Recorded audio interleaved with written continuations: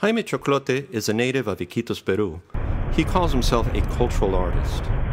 Through paintings, murals, graphic novels, sculptures, and most recently, animation, he captures the symbolic cultural essence and social reality of indigenous peoples of the Amazon.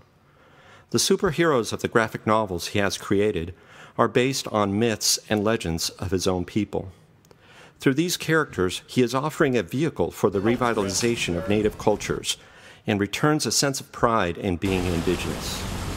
Yachak is his first work after teaching himself how to animate his own paintings.